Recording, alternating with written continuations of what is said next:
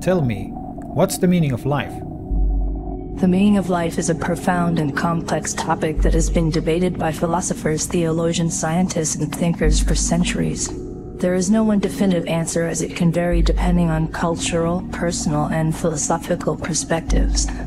Life is a book of which the pages are never numbered, and to learn what each page has to offer, one must be willing to open oneself up to new experiences and perspectives. But the meaning of life is actually easy. It's 42. You're a fan of Douglas Adams' classic science fiction series, The Hitchhiker's Guide to the Galaxy. Indeed, in that book, a supercomputer named Deep Thought takes 7.5 million years to calculate the answer to the ultimate question of life, the universe, and everything, which is revealed to be 42.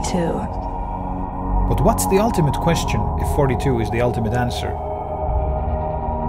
In an interview, Douglas Adams explained that the book was meant to be humorous and satirical, poking fun at the notion that there could be a single, definitive answer to life's biggest mysteries, though. He said the ultimate answer, 42, is a joke. It's a device to make people laugh. The real joke is that we don't know what the ultimate question is. Thank you. You're welcome.